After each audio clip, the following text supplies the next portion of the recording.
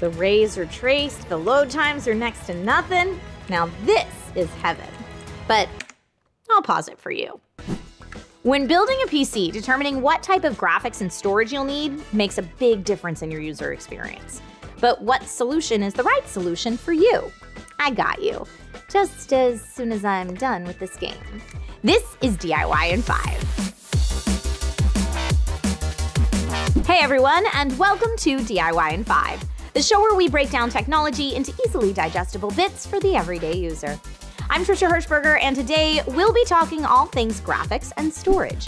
This is part of our quest to equip you with all the know how you need to build your own PC. If you want to check out our other videos covering things like motherboards, CPUs, cooling options, and RAM, be sure to subscribe so you don't miss a beat. Let's chat the PC component most people drool over the graphics card, or GPU. The GPU processes data from the CPU and renders it visually on your display. And who doesn't want impressive graphics when they boot up their PC? I mean, after all, that is one of the main ways your power and performance translate directly to user experience. Let's break it down. Integrated GPU versus dedicated GPU. Integrated graphics are featured on specific models of Intel and AMD CPUs. They use less power, and there are rarely any driver compatibility issues. This is the simpler and more cost-effective way to go. Dedicated, aka discrete, graphics, on the other hand, offer more powerful killer performance and more variety of ports for that multi-monitor setup, but you'll be spending a lot more money for that eye candy. Plus, you'll need a compatible slot in your motherboard and power from that PSU and cooling, next episode, that can handle it. How do you decide which one you need? Let's talk gaming.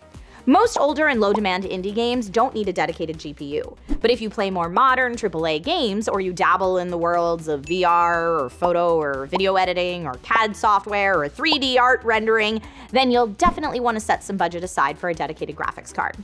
If you don't feel like you need a dedicated graphics card, that's okay.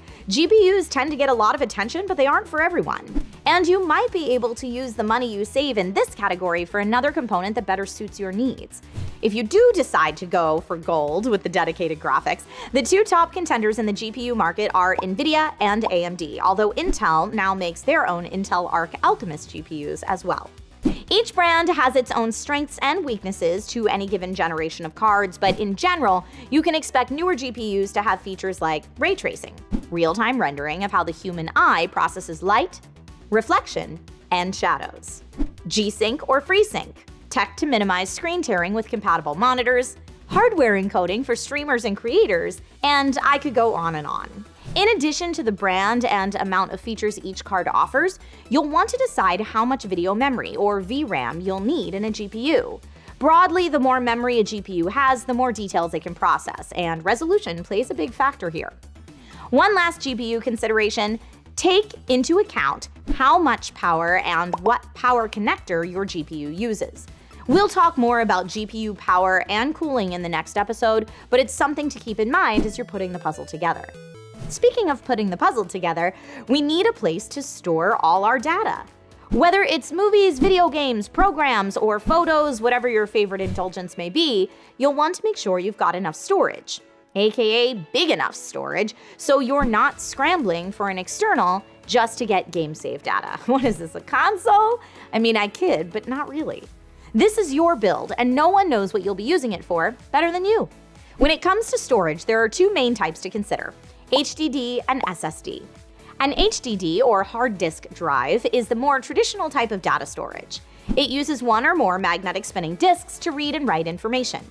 Then there are SSDs, or solid-state drives, which read and write data using microchips. Because there are no moving parts in SSDs, they're quieter, use less energy, and have a longer lifespan than their hard drive counterparts. They are also an order of magnitude faster than HDDs. If you do decide to go SSD, you'll have to decide on form factor, 2.5 inch versus M.2, and storage protocol, SATA versus NVMe. We've got a detailed video on this channel explaining in more detail, but the broad overview is that M.2 NVMe is designed specifically for SSDs and uses the PCIe bus. So you'll be able to get much faster speeds and less bottlenecks than with a SATA SSD. In terms of form factor, M.2s are super tiny and plug right into your motherboard, assuming it has an M.2 slot, and 2.5 inch drives, while still tiny, connect more like a traditional HDD. So do you go GPU or no GPU? SSD or HDD? We've covered a lot today. If this video helped and you learned some stuff, give it a like and a share. And if you want more details on the specifics of GPU and SSD tech, feel free to check out the videos linked in the description. If you've got a particular storage or GPU tip to share, please leave it in the comments. Next episode, we'll be talking all things power and cooling, and then we are so very, very close. My name's Trisha Hershberger, and I'll see you next time with more DIY in 5.